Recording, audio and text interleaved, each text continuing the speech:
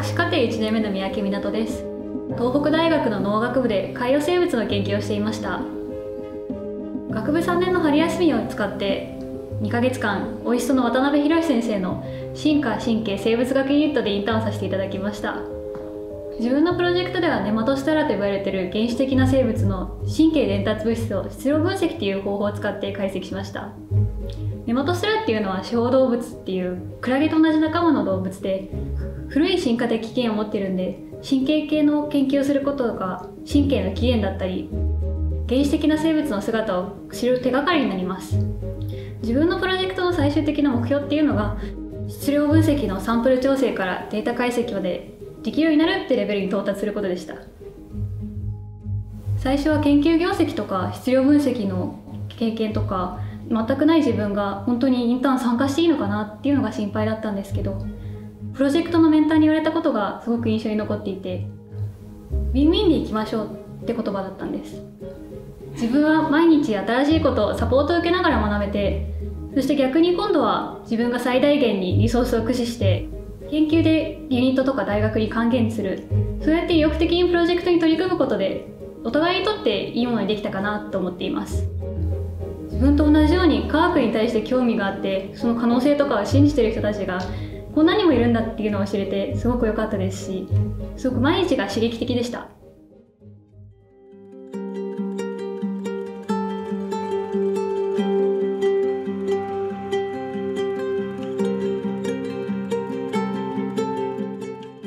高染南と申します。現在オイストの博士課程2年生です。琉球大学修士2年の時に3ヶ月間タンパク質工学進化ユニットでリサーチインターンをしました。リサーチインターンに入るきっかけはまずダメ元で先生にメールでコンタクトを取ってみましたすぐ返事が返ってきて会ってみることになりました。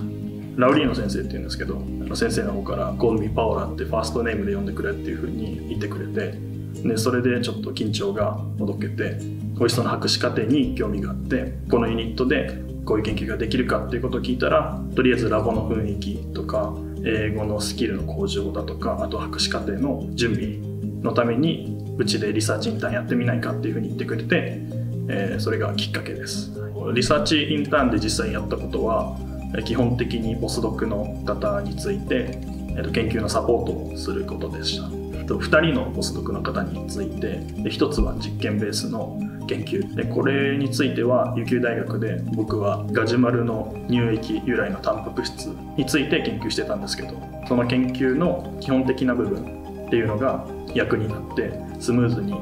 ポスドクの方と一緒に研究を進めることができました。もう一つはバイオインフォーマティクス分野。これは自分にとって全く新しいことでで専門のポスドクの方に力、えー、と教えてもらってすごくいい経験になりました。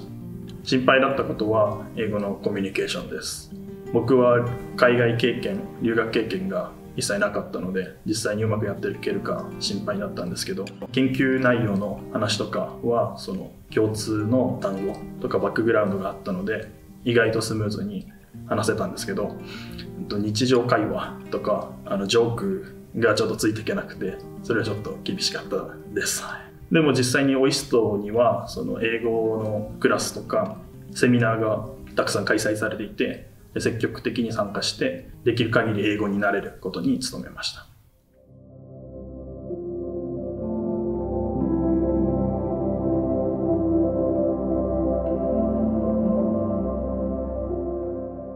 現在ラボローテーションを計算行動神経科学ユニットで行っているんですけどそこでのプロジェクトでイカの色素細胞を機械学習を用いて追っているので